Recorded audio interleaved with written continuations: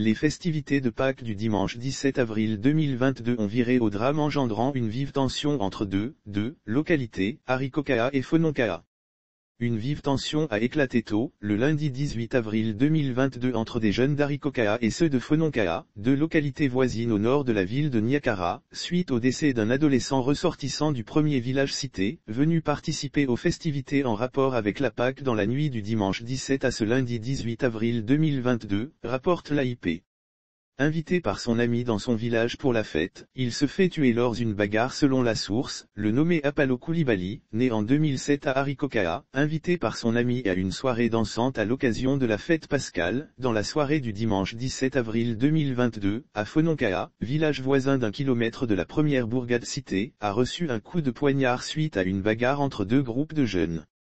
Une violente empoignade à laquelle Apalo était absolument étranger. Il succombe au coup de poignard des protagonistes, qui fuyaient dans la direction de cet innocent, ont malheureusement fait de lui une cible pour leur poursuivant direct, et l'un d'entre eux l'a poignardé, a expliqué W.T.A, 46 ans, un habitant de Fononkaa, localité confondue presque au chef-lieu de sous-préfecture, Arikokaa, interrogé par l'AIP. Des faits confirmés par plusieurs témoignages.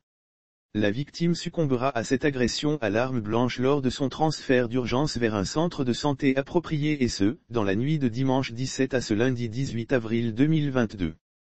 Les jeunes du village de la victime en colère envahissent le village de sa mésaventure pour le venger en représailles à cet acte ignoble et intolérable imputable aux voisins. Une horde de jeunes en colère a investi le village de Fononkaa, tôt ce lundi matin, incendiant entre deux et trois cases, avec pour conséquence, des agressions et surtout la fuite de quelques habitants du dit village assiégé et de leur chef de village, Auclin Oignon Touré, ceux-ci craignant pour leur vie.